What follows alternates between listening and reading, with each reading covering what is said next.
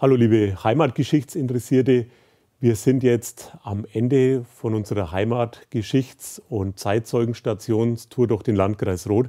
Wir hatten im Jahr 2015 acht Zeitzeugentermine quer durch den Landkreis Roth von Kammerstein über Abenberg, Obermessing, Allersberg, Röttenbach, Stauf, Spalt und Heideck und durften mit ja, noch lebenden Zeitzeugen sprechen, die zum Teil an den Kriegswirren im Zweiten Weltkrieg mitbeteiligt waren, aber auch vielen daheimgebliebenen, die Erlebnisse vom Einmarsch der Alliierten bis vorhergehend die Machtergreifung der Nationalsozialisten auch mit dokumentieren. War sehr, sehr spannend und ich denke, es ist auch wichtig, diese Erlebnisse zu dokumentieren, für die Nachwelt zu archivieren. Und für mich war das Jahr 2015 auch persönlich sehr spannend.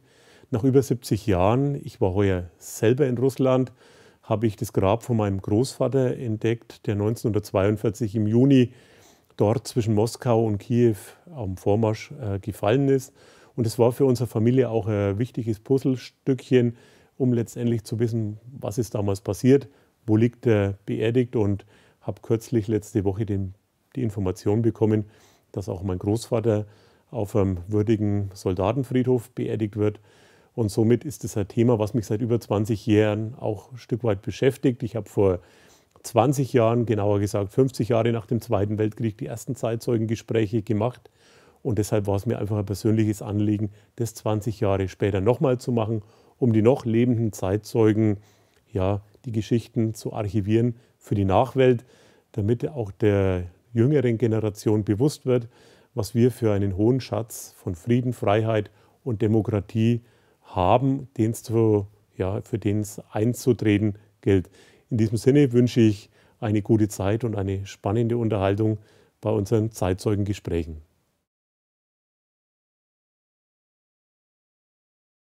Das ist der 22. April gewesen, 1945 Mittag um 12 Uhr in Wasserzeit sind die Amerikaner gekommen.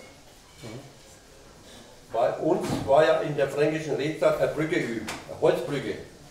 Und die haben es da schon gesprengt. Die Wehrmacht auf dem Rückzug. Die SS haben die schon gesprengt. Ja. Ne? Und bei uns war eine Frau da aus Nürnberg, die ist in Nürnberg schon ausgebombt worden und die hat uns da gewohnt. Und der ist dann runter zu der SS und haben gesagt, warum sollen sie das wieder sprengen? Da haben sie einen Revolver am Brust gesetzt und haben gesagt, wir haben schon mehr Frauen ja schon. Ja, und haben das Ding da gesprengt. Also da war ein paar Tage bevor die angekommen haben, war schon die ganze Decke abgedeckt. Und der Sprengung von der Sprengung. Ne? Und bei uns, meine Mutter, war SS drin und die hat den SS einen Presser gegeben. Und vorne, wenn ich das erklären darf, Richtung Seife davon war ein Geg äh, Luch ausgeklappt und da haben sie noch geschossen. Dann hat er gesagt, der den hat bloß der MG probiert, der SSler bei uns in der Gegend ist. Das hat nicht lange gedauert, dann schreit die Nachbarin rein, die Panzerstände über der Brücke drin. Die hatten natürlich keinen Presssack mehr brauchen, weil der abgehauen ist. Ne? Das ist ja mal da. Ne? Naja, wenn die da reingeschrieben haben, meine Mutter und ich, wir hatten dann auf, in Wasserzell ist äh, ein Bierkeller. An der Hauptstraße oben, wo die, Bushaltestelle ist. Und der war ausgelegt als, als Bunker halt, ne, als Ding, ne. Und da ist sogar ein Notausgang gemacht worden, weil das ist ein Weltenbunker. Und da ist sogar ein Notausgang gemacht worden, wenn was wäre, dass da ein Notausgang oder aus. Dass man hinten raus kann, ja. Ja, genau, so war das. Ja, wir waren da oben. Und dann, das war ja mit um 12 Uhr rum, wir haben ja dann auch in den Bunker und alles ist dann auch in den Bunker, was halt aufgekommen ist noch. Mein Großvater ist da geblieben. Und wenn wir nachts heimgekommen haben, ist ja bei uns dahinter alles abgebrannt. Das ganze Bild, wenn ich das erklären darf, was der Zeit naja, ist alle Brücke dahin, ne? Alles, ja, ja. ne? ist das alles abgebrannt. Wenn wir heimgekommen haben, da bei Nacht, unser Haus war belagert von lauter Amis. In unserem Wohnzimmer haben wir schon einen, Schraub, einen Schraubstumm eingerichtet gehabt. Ja, war schon alles belagert. Ne, ja. Und dann, der, der Dings ist ja alles, und dahinter war Bayer. Bayer und Fuß ist ja alles abgebrannt. Uns ist nur die Scheune abgebrannt, das Haus ist stehen geblieben. Und beim Bayer dahinter, die haben einen Auffahrt in den Keller. Die haben natürlich nicht so weit gekommen, hat beim Nachbarn beim Pfuff in den Keller runter. Das hat das Haus auch zum Brennen umgefangen, ich kann ja nicht mehr raufkommen, weil der Kellereingang hat ja aufgebrannt. Jetzt haben sie es noch gehört, dass eine drum schreien, dann haben sie es durchs Kellerluch, das war bloß 50 mal 50 ist, haben sie die Leine rausgezogen. Haben wir alle rausgebracht? Ja, die rausgebracht. Und beim Bayer dahin ist ja wirklich alles verbrannt. Ne? Die haben auch bei uns vor, vor, vor den 22 bis kurz vor Weihnachten haben die bei uns gewohnt in unserem Wohnzimmer. Weil kurz vor Weihnachten war das Haus wieder so weit aufgebaut, dass es die Wohner haben können. Ne? Und beim Bayer dahin haben die, die Käse, wenn ich das so erklären darf, die haben in die Fressgitter drinnen gehängt, die Skelette waren da drinnen gehängt, total verbrannt alles. Und in, in, in, in der Scheune nebendrin, da waren die Pferde. Die haben nicht verbrannt, sondern die haben erstickt durch den Rauch. Das war natürlich, hat ja keiner, ein Bulldog, nichts hat was gehabt. Die Pferde haben es dann mit den anderen Pferden rausgezogen und hinterhalb war der Grundstück, da haben die eingeklappt worden. Die Pferde. nicht mit dem Bagger, sondern mit der Schaufel haben sie Liga gemacht. Das war gemacht. Krebs aber noch, ja. Ja, das war da so. Und vor etlichen Jahren hat der Bayer eine Gürtelgrung gemacht. Hat da habe ich gesagt, so jetzt ein Bayer, soll ich die beobachten, da haben die Pferde eingegraben. Um 5 Grad haben sie den Pferdekopf da drinnen gefunden. Als ich mit 27 geboren habe, ich schon gesagt, und 1944 damals ja, das war so. bin ich gewusst worden. Ne? Und damals nach der Musterung, äh, nach drei Wochen ist ein Berufungsbescheid gekommen an den freiwilligen Bewerber der Waffen-SS. Da sagt mein Vater, hast du freiwillig gemeldet zum Waffen-SS? So, nie, niemals nicht. Ich habe immer zwei Kollegen dabei gehabt, den Spalt. Name werden wir viele klar gesagt, das war wieder die Nebenwohner, alle die ich nicht mehr. Und äh, der sagt mein Vater, wenn du dich nicht freiwillig gemeldet hast, dann gehst du auch nicht zur, zur, zur Musterung bzw. Einberufungsbefehl. Gut, hat äh, 14 Uhr dauert nochmal gekommen. Mein Vater gesagt, komm nicht in Frage, wenn du dich freiwillig gemeldet hast, gehst du nicht. Gut, wieder erledigt gehen. 14 Uhr drauf kommt wieder ein Berufungsbescheid äh, zur Musterung und hatte man kannst da die freiwilligen Bewerber der Waffenmesser, sondern nur Weber, Reichswehr hat man damals gehabt. Mhm. Ne? Ja, gut. Musst du gehen, wie jeder andere, was soll da nur das nur Steige Dann bin ich gemustert worden. 14 Uhr drauf kommt ein, ein, ein Berufungsbescheid, also da unter die Einrufung. Und zwar nach Jägerndorf in Ostsudetenland war das. Mhm. Da war ich in der, in der Ausbildung. Kurz vorher war wir vier oder sechs Wochen war ich am Arbeitsdienst und dann anschließend die alte Musterung, dann zur Wehrmacht und dann im, im Frühjahr, damals im April, dann eingezogen zur, zur äh, Wehrmacht, Ausbildung Jägerndorf. Die Ausbildung hat natürlich damals bloß sechs oder sieben Wochen gedauert. Und dann sind wir in Einsatz gekommen mit drei Kompanien, das dürfte, weiß nicht genau, 180 Leute gewesen sein. Da sind wir in Pforzheim, Nauburg, Pforzheim war das damals, da hat, hat der Feind kann und muss geschlagen werden und da haben sie uns 16-, 17-jährigen Kindersoldaten, wie es in, in, in der Ausland gibt, wo uns leider Gottes gegeben, oder bei den Nazis war alles möglich.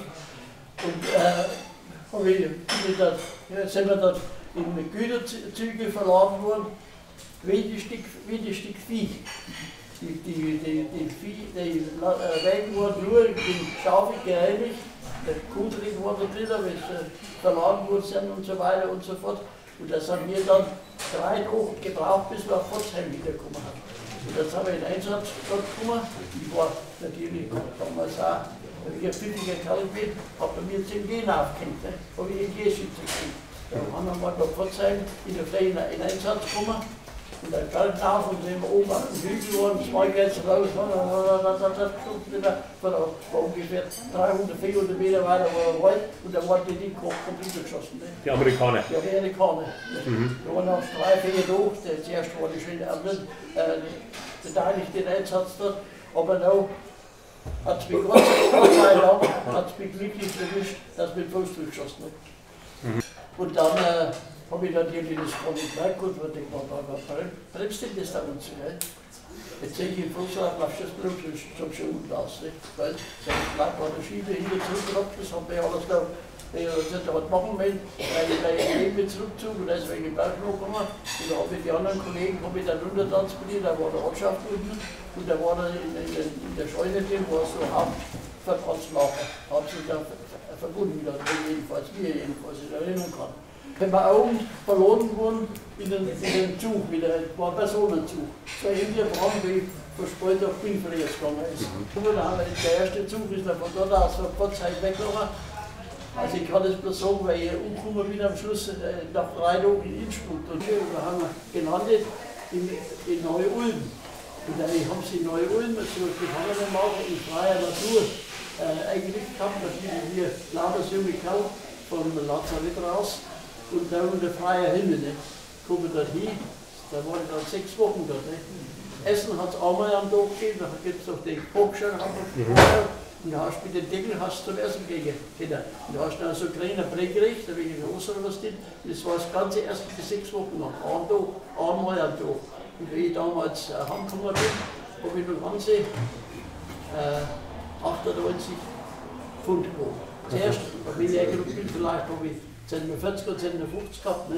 Also, wenn du nichts mehr fressen kriegst, dann nimmst du schon. Sechs Wochen in der Freiheit. Bei Regen und. Bei, bei Regen, da hat es geregnet, wir waren nicht nass, wir hatten wieder wegen, es war ein riesen äh, Gelände dort, da hat man da wegen, aber ein Rand wegen Großzug. Das haben wir da umgezogen und haben versucht, wegen der Feier zu machen, dass man mit Luft und Sonne geschrien hat, dass das wieder einigermaßen getroffen wurde. Wie dann aufs Globen ist hat, da war bloß ein Bäum hinterzu und der rausgekommen, vielleicht so 15 Meter lang und 2 Meter tief. Und da war alles Pfeffer und so weiter. Und die war nicht so, so rar miteinander war, dann einfach hochflog und Ewigkeiten mehr rausgekommen. So ist es gewesen.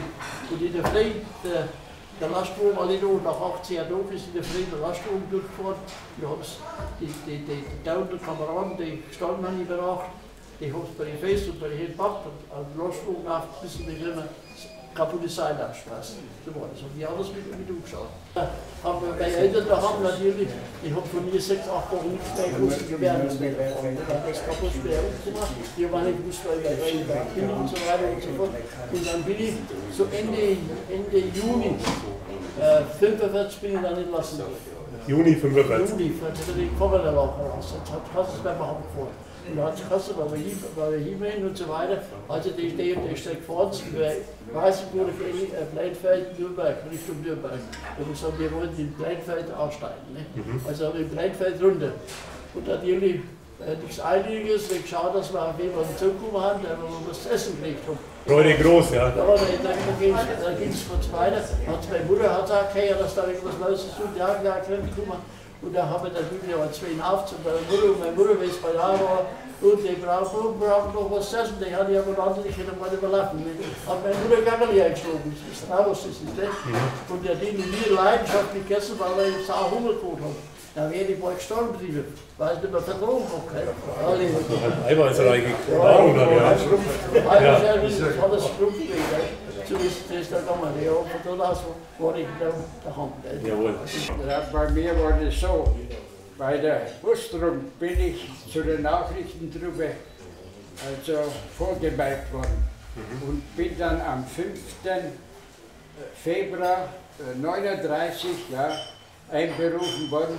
Wir konnten es doch gar nicht mehr warten, bis wir einberufen worden sind. Ne? Und so war es dann auch nach der Ausbildung in, in Wien. Ne? Eines Tages sagte der Spieß, neun Freiwillige für den Westen. Und wir wollten doch dabei sein, wenn es nach England geht. Mhm. Ne? So haben wir doch gekriegt damals, dass es einen Krieg mit Russland gibt, da haben wir doch damals noch nicht dran gedacht. Da hat der Spieß gesagt, neun Freiwillige eines Tages für den Westen in der Früh. Und da war ich dabei. Ne?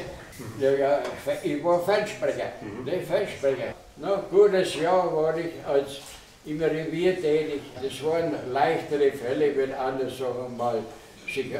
Der schlimmste Fall war einmal, dass sich der Koch mit dem Messer oh ja. reingeschnitten hat. Ne? Dann ist aber die Einheit wieder versetzt worden.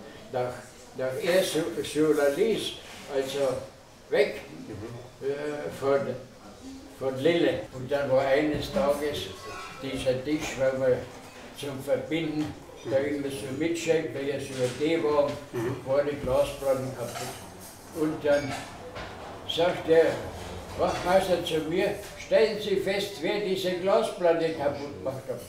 Da habe ich zu ihm gesagt, ich bin doch kein Gendarm. Oh, der ist Kumpf. Ja, dann war natürlich das Verhältnis gebrochen ne? und dann habe ich wieder äh, eingereicht, dass ich zur Kompaniedienst komme. Ich war ganz selten bei der Kompanie. Ne? war immer Störungssuche drauf, in Lille, in Autrieb, ne? ich war immer fort. Ne? Mhm. Aber so der Bereich, wo dann die Kugeln geflogen sind, habe ich nicht erlebt. Glücklicherweise. Ich habe keinen Schuss abgegeben, mhm. mir hat keiner was da, auch nicht beim Rückzug. Pfandhaus mich in, in Kalten-Eggersfelden in der fränkischen Schweiz. Die, und wir waren dann, da habe das gemacht dann in der Früh. Ich bin dann in das Dorf und habe mir die Bauern Eier gebettelt. Mhm die, äh, das Mädchen im Haus, die, die hat äh, die Kartoffel, wir haben Kartoffel gescheit und die hat dann uns Kartoffelpuffer gemacht. Und dann kommt der Befehl, ich soll zwei, ich soll nach Drügendorf zurück und die, die zwei sollen die, äh, die Vermittlung besetzen. Und das habe ich nicht gemacht. Ich habe zwei Fernsprecher zurückgeschickt. Die Leitung, der Befehl war ausgeführt mit der Leitungsbau. das, das Mahlzeit war auch gegessen, da haben wir uns ausgeruht und im Dorf war es so ruhig. Und der eines zu Nachmittag um 2 Uhr haben wir dann gesehen, dass die Leute, der Bürgermeister oder wer es gewesen ist, die weiße Flagge aufzieht auf den Masten. Das nicht mehr lang dauert. Da hat man, was sagt, Panzer. Panzergeräusche gehört. Ich habe dann meinen Chef noch angerufen und gesagt, die Panzer haben jetzt in keine Egersfelden. Mhm. Äh, ob wir nun rauskommen, das weiß ich nicht. Die, die Deutschen, die deutschen Lanzer, die fort sind, die ja, haben wir. Die haben beschossen worden. Da haben wir gesagt, na, das machen wir jetzt vor Ende des Krieges lassen wir uns keins mehr verpassen. Dann sind wir in, in Köln runter. Mhm. Einmal haben wir dann auch gehört, irgendeine fremde Sprache im Hof. Mhm. Und dann ist der Bauer, da haben wir Januar drunter, hat der Bauer gesagt. Mhm. Da haben wir Januar drunter. Ja, ja. Da haben wir gewusst, jetzt sind wir gemeint. Und dann muss ich nur einfügen, der Ami hat bei uns Flugblätter abgeworfen. Und da ist drauf gestanden, wir können den Krieg auf zweierlei Art überleben oder erleben. Das alles, wenn sie so geschaut hat, dann war es ein Soldat, der auch verblutet in Stacheldraht ist. Mhm. Und wenn du das Bild durch das Licht gehalten hast, dann hast du einen Soldaten gesehen mit einer schönen Frau in Arm. Und dann ist da auch drauf gestanden auf dem Blockad. Hunderttausenden Soldaten retteten das Leben, das eine Wort Surrender. Wenn wir von den Köln raus sind, schrie ein Surrender. Ne? Mhm. Und, und, dann, und dann Stohl ist der Ami gestanden mit seinen Waffen, mhm. ne? aber er hat nicht geschossen. Das Lager selber, das hat ungefähr acht Hemd gehabt, Stacheldraht, gewöhnlicher Acker. Das war das, sind so wohl gar nichts da. Und da haben wir eine Auftat worden, das so ungefähr weit über 100 in Ankämpfen. Ne? Bis jetzt war es ja ein herrliches Frühjahr. Drum, also dann ist das Regenwetter. Ja. Am 1. Mai hat es noch angefangen zu bringen. Mhm. Und da hast du gekriegt und du darfst die tagsüber nicht setzen. Und ich, dann macht man bloß ein Schrittler hier und her. Dann waren wir zuletzt in, in, in Schlamm gestanden bis über die Gegend hinaus. Gestellt worden, der hat uns verehrt, ja, was wir gemacht haben. Zu mir hat er gesagt, fromm, hat er gesagt, fromm, fromm. Fromm bin ich, aber von, aber von Spalt. Ich habe ja gar nicht gewusst, was der momentan meint. Ne? Da ist woher, er erst gefallen. woher? Ne? Fromm. Sag ich, ich bin katholisch, habe ich gesagt. Meine Eltern sind katholisch und ich bin aus der katholischen äh, Religion erzogen worden. Ne? Der wollte wissen, wo, woher Sie sind, ja? Ne? Ne? Ja, gut. Er, er hat mich dann also, also zu den Entlassenen geschickt dann. Ne? Wann, wann war das? Wann sind Sie da rausgekommen aus der amerikanischen Gefangenschaft? Ich bin am 5. Juli wieder daheim gewesen. Da war ich wieder im Bauernhof da. Ich bin geboren am 17. Oktober 24 auf einem kleinen Anwesen in Unterelbach. Das ist zu Hause. Ah ja, genau. Und dann, wenn ich noch aus der Schule gekommen bin, dann bin ich auf Speutreck gekommen, weil wir waren fünf Kinder, aber ein kleines Anwesen. Da sind meine An die Geschwister, halt mein Bruder und die Marlies sind noch älteren Bauern gekommen. Da ist nur eine Tochter daheim war. Und da bin ich auf Speutreck gekommen, zum Gengschosch. Und das ist das Wirtshaus zum Stenge jetzt. Da, war ich, da war ich drei Jahre dort, da war ich 17 Jahre, drei Monate, da bin ich zum Militärflot gekommen. Oder nach Goldenhafen, das ist bei Gedingen, das ist bei Boden, man dann sich da oben. Jawohl. Ja. Und da haben wir es dann mitgenommen zu der Marine. Und da, bin, und dann haben sie mir weggekommen da und dann sind wir- ich bin auch auf Hamburg gekommen und da sind wir noch eingeschifft worden. Da bin ich auf Norwegen gekommen, nach Bergen. Und da bin ich auf ein Schiff gekommen, ein Robostenboot. Wir waren 55 Mann auf dem Schiff. Unser Kapitän, der war Oberfelder und auch Ding. Und in der Kicken war ich der Jüngste, wo da wie ich gekommen bin. Da haben sie gleich in die Kicken. Drei Jahre wo es war ich auf dem Schiff dort. Und da bin ich abkommandiert worden auf einen U-Bootjäger. Daher jetzt gerade ist. Wir sind in der Früh um 6 Uhr abgereist worden. Von nach 12 Uhr bis 6 Uhr haben wir Posten gehabt. Mhm. Halt die halbe Besatzung ist auf Wach gegangen. Und dann sind wir abgereist worden. Wir sich ins Bett reingelegt. Zehn Minuten drauf ist Alarm gewesen. Sind wir dann aufgerannt. Jetzt waren da Flieger, sind rübergeflogen, englische Flieger, und haben das beschossen. Wir sind in Gefangenschaft gekommen. Da sind wir gefahren von, nachts von, von Hammerfest nach runterwärts nach Nauri. Jawohl. Und da ist immer halb elf ist ein Funkspruch gekommen in der Früh. Ist der Funkspruch gekommen, der Krieg ist zu Ende, wir sollen unseren Heimathafen zulaufen und das war Malö. Haben uns den Hafen gelaufen und die Frachter weiterfahren lassen.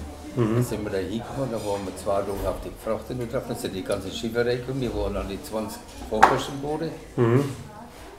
Und noch zwei Tage drauf sind auch zwei englische Offiziere gekommen und haben da, sind an Bord gekommen und haben gesagt, wir sind wir verhalten müssen und so weiter.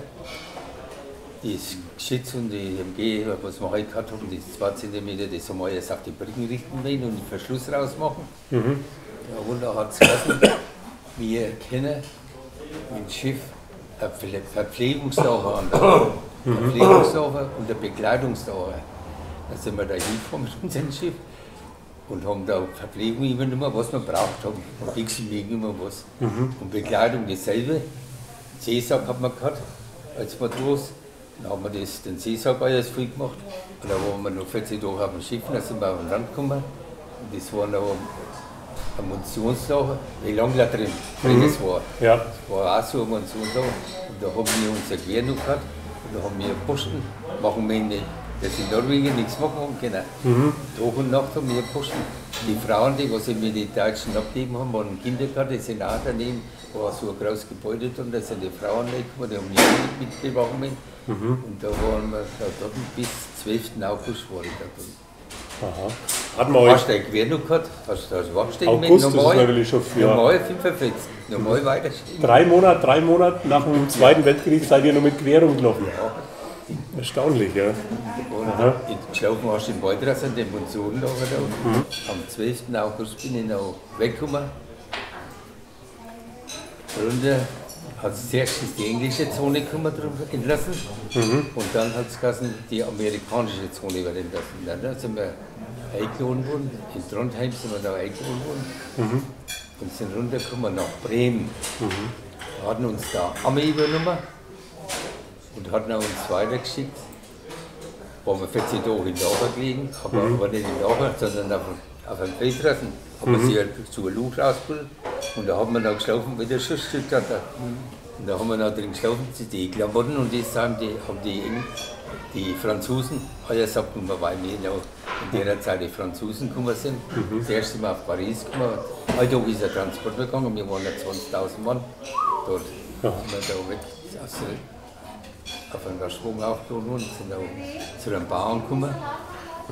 Und da ich da bei den Bauern eineinhalb Jahre. Der Bauer war wieder da, der war einmalig, war gut zu mir. Ging. Aber die Leute, weil ich der Einzige gefangen war, das war so wie was der Zeit rund. Hinzen auf, hinzen auf, auf. Also der Hass war schon spürbar Ja, von den Franzosen. Und, Ah, ja. und dann haben sie mich tatsächlich, der junge Kerl da mit 70, 80 Jahren, irgendwie nachts, ich habe da in Hufhäuser gewohnt, und da haben sie mich aufhängen wollen. Ernsthaft? Ja, und mein Nachbar, der war fünf Jahre in deutscher Gefangenschaft in Oberbayern drin und dann ist Suko gegangen und der hat gar nicht heimgeholt, wenn die mich gekommen sind. Und die haben mich auf den Bogen aufgenommen, haben es auf Straßburg gefahren und haben es zusammengefahren. Genau. Und der hatte immer einen Dolmetscher gemacht. Dann hat er mir das gesagt, sagt er, Charlie, Charlie, muss mich lassen, die Call. Charlie, hat er gesagt, du musst vorsichtig sein, die wollen die aufhängen. Und, auch, und zufällig, wie die da waren, und da war ich in den Hufhäuser, wo ich drin geschlafen habe, da war ein Fischerkreuz drin. Und da haben sie nicht reingekommen. Und da haben sie ausgemacht. Der hat da mal beim Dach das, das, Kreuz, das Eisen hochschneiden und noch immer rauf und hingen auf. Und das hat mir der Nachbar gesagt, auch, der wo in deutscher Gefangenschaft war, hat gesagt, ich soll vorsichtig sein und da habe ich nicht mehr. Da habe ich zurück, habe ich ihm zum Bauern gesagt, ich will zurück ins Dach, ich bleibe nicht mehr da.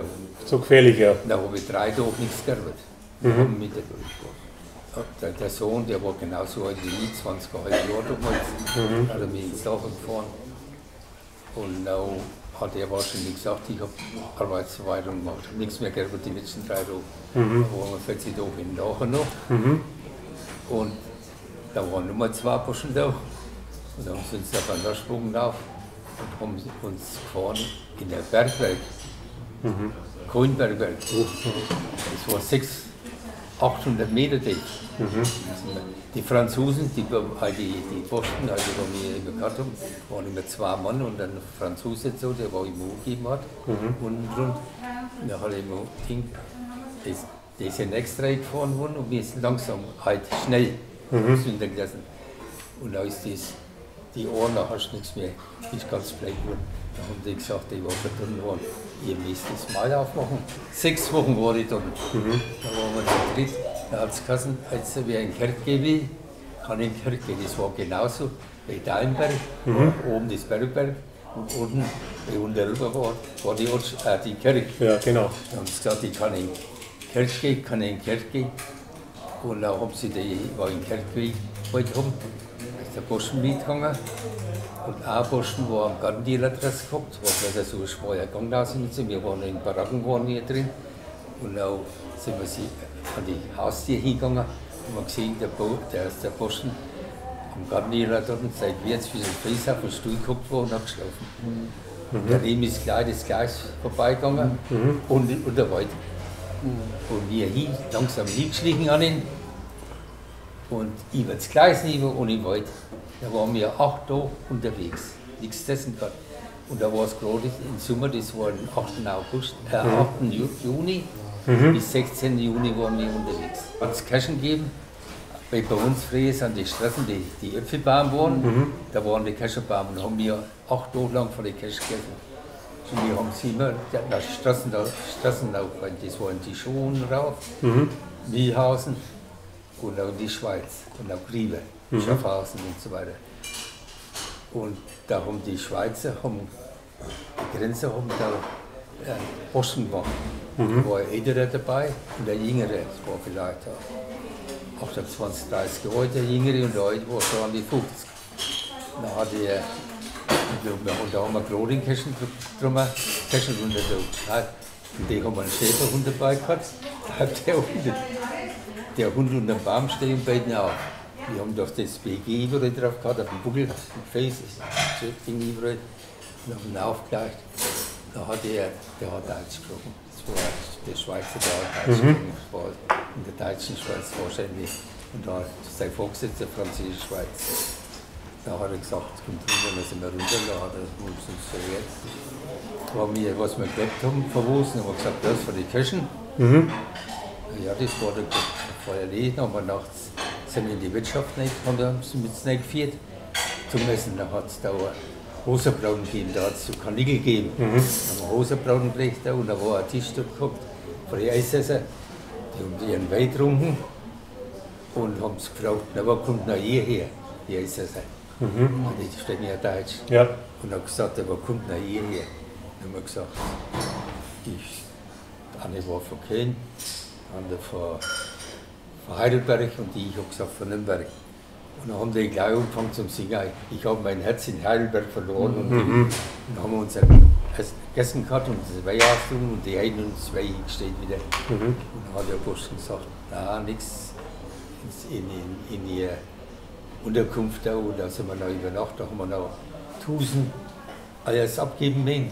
Mhm. Hast gerade nachher ins Becken, in der Solarei, haben wir geschlafen und in der Früh hat uns der junge Posten auf Milhausen ins Lager da dann hat er immer gesagt zu mir, ich hätte doch auch haben gelassen. Ich weiß doch, hat er gesagt. Ich wollte doch auch haben. Mhm. Aber der hat nicht sagt, mhm. da kann ich nichts machen. Und dann waren Sie im Lager bei den Amis quasi in Gefangenschaft oder bei den Franzosen? Bei den Franzosen. Franzosen, ja. In Gefangenschaft. Und wie lange und wann? Und da war ich dreieinhalb Jahre in Gefangenschaft. Und da war ich auch, bin ich bei einem Bauern gewesen, waren sehr gute Leute. Mhm. Aber ich bin nicht mehr drin, weil sie haben immer abhängen wollen. Mhm. Ja. Sind auf die verschiedenen sieben Jahre. Ja. Ja, Wahnsinn. 45 Jahre. Und wann, wann sind Sie dann heimgekommen? 48. 48. Am 28. Oktober. Äh, erstmal bin ich im äh, Dezember 1934 geboren. Ich war also beim Kriegsende war ich äh, zehn. Ich bin in Jauer geboren. Äh, das, in, das, weiß man hier eben. Schlesien ist ja, ist ja mhm. nicht so bekannt. Ähm, und dann mussten wir im äh, Januar 45 sind wir dann 50 Kilometer bis nach Oberwülste-Gersdorf zu Fuß mit dem Schlitten äh, gezogen, die Familie. Und äh, es war ja ein harter Winter. Also das war schon, haben einmal übernachtet und haben dann das Kriegsende in Oberwülste-Gersdorf, meine Eltern hatten da noch ein Haus, mhm. äh, äh haben wir das Kriegsende erlebt. Äh, Oberwüste-Gersdorf war äh, in ein Ort, wo es ein sogenanntes Arbeitslager für Juden gab. Mhm. Und äh, diese äh, gefangenen Juden haben Schienen legen müssen äh, und ähm, sind auch äh, von sogenannten, also von den Männern der Organisation Todd bewacht worden. Mhm. Und das waren ganz schlimme Männer. Also die, die haben, ich habe das als Kind selber äh, gesehen, wie die äh, die Juden behandelt haben. Ähm, die Bevölkerung selber hat immer versucht, den äh, Gefangenen zu helfen. Mhm. Das heißt, selbst meine Tante hat halt Brot eingepackt und, und dann mhm. einfach aus dem Fenster geworfen. Oder eine Nachbarin hat äh, äh, Essen gekocht und hat es in die Schweinetröge gegeben. Das war ein, ein äh, Bauernhof. Und, äh, und wenn dann die Bewacher kamen und gesagt haben, was ihr einfällt, äh, denn sie wären ins Gefängnis gekommen, wenn sie, wenn sie geholfen hätten. Mhm. Also wenn, man, wenn das aufgekommen wäre. Äh, und da ist dann, äh, aber dann hat die Nachbarin eben gesagt, ja, wenn ihr nicht aufpasst, das ist das Fressen unserer Schweine. Mhm. Also da hat jeder, jeder äh, versucht zu, ja, zu tricksen und die Leute zu ja, helfen. Ja. ja. Äh, als dann äh, das Kriegsende kam, ähm, dann sind zuerst die, äh, mein Vater ist dann im Heuscheuergebirge stationiert gewesen und der hat sich dann zum Kriegsende hin durchgeschlagen durch die Wälder, die er ja kannte, weil er da geboren war im Eulengebirge. Mhm. Und äh, äh, dieses ganze Projekt, das weiß man auch heute, äh, was Hitler damals äh, äh, versucht hat durchzubringen, ist ja, er hat ja riesige Tunnels bauen wollen das Projekt Riese hieß das, im Eulengebirge. Und so waren auch diese, die, die Schienen, die gelegt werden mussten nach Tschechien hin, das war also ziemlich an der tschechischen Grenze. Ähm, die, ähm, äh, das musste halt gebaut werden und dann mussten die Leute noch im Steinbruch arbeiten, also die Gefangenen. Ähm, als das Ganze dann, als die Russen dann kamen, war es so, die ersten, ähm, die kämpfende Truppe, das waren Mongolen und die waren sehr anständig. Mhm. Äh, was danach kam, war, äh, war schlimm. Aber äh, die äh, Russen haben damals versucht oder haben äh, gewollt, dass das ganze Dorf äh, eben dem Erdboden gleich gemacht wird, eben wegen, dieser, wegen dieses Arbeitslagers. Und dann, und die Bevölkerung, also meine Eltern haben auch schon im Hof gestanden, die sollten erschossen werden. Also die Bevölkerung sollte erschossen werden. Mhm. Da haben aber die äh, die Juden, die dann entlassen waren und aus dem Arbeitslager kamen, die haben für die Bevölkerung gesprochen mhm. und haben gesagt, man hat ihnen geholfen, so wie es irgendwie ging, und dann haben die davon abgelassen. Also ich muss Ihnen sagen, das war ganz, eine ganz großartige Geste dieser Leute, die gequält worden sind und hinterher für die Bevölkerung gesprochen haben. Das, mhm. daran, das habe ich nie vergessen. Wir sind dann 46, äh, mussten wir dann äh, Schlesien eben verlassen.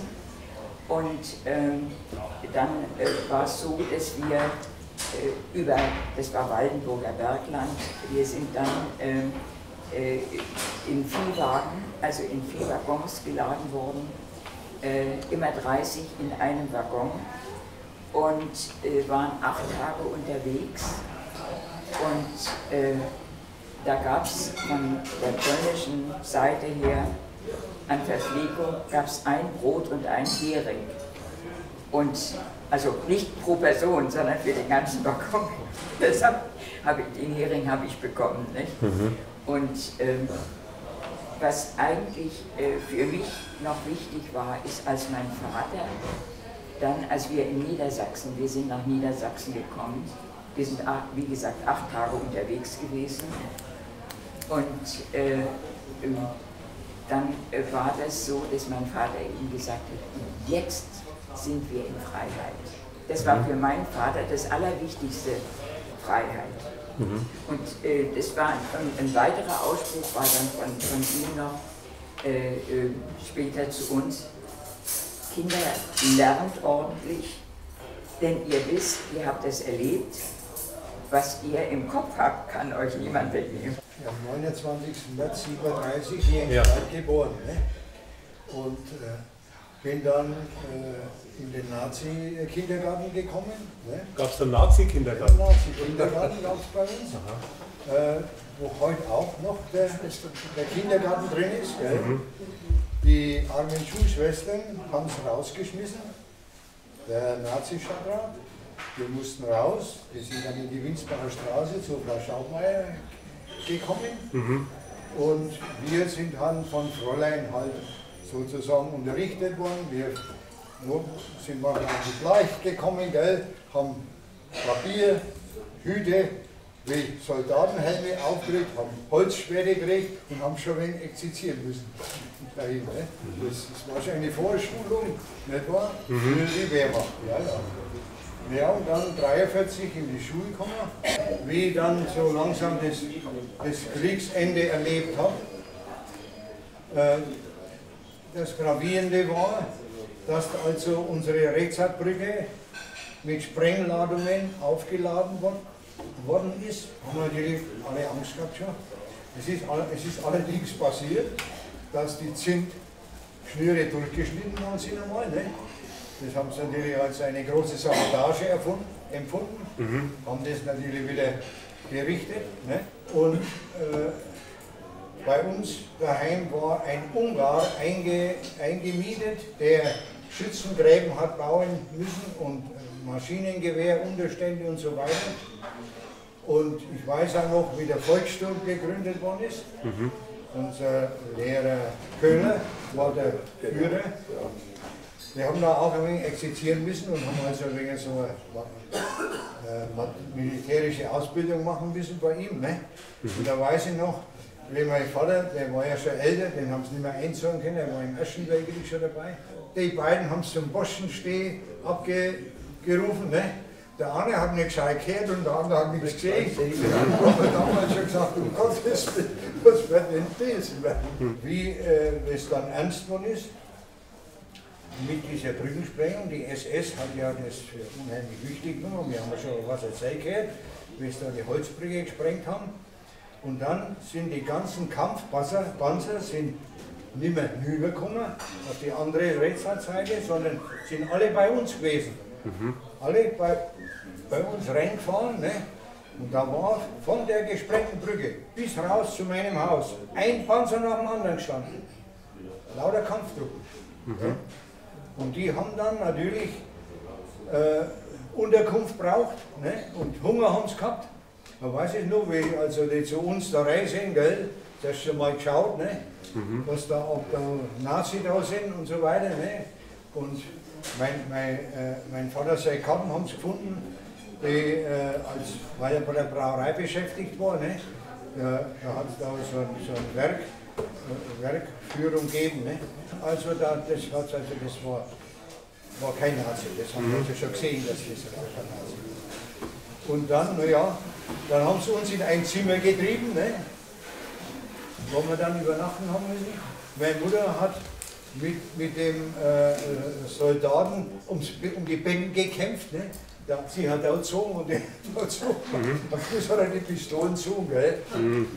Da hat es ausgelassen. Das ist natürlich ein Argument, ja. ja. Mein Bruder, die Harmonika haben es geglaubt, die haben es mitgenommen.